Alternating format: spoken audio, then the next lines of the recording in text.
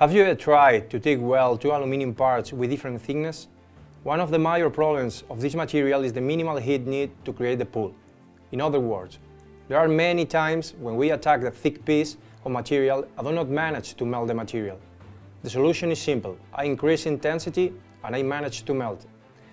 But when the joint requires welding a thick part, let's say 10 millimeters, for example, to a thin part, let's say 1 millimeter, the current I need to melt the 10 sheet does not allow me to get even close the 1 millimeter one without wringing it. Today, we have a specific welding program that makes the alternating current arc narrower, enabling us to melt the 10 sheet and get close to the 1 sheet without deforming it. Thus, we can simply obtain quality bits in a critical application. If we also combine the welding process without automatic wire filler system for TIG, we will manage to simplify a complex process.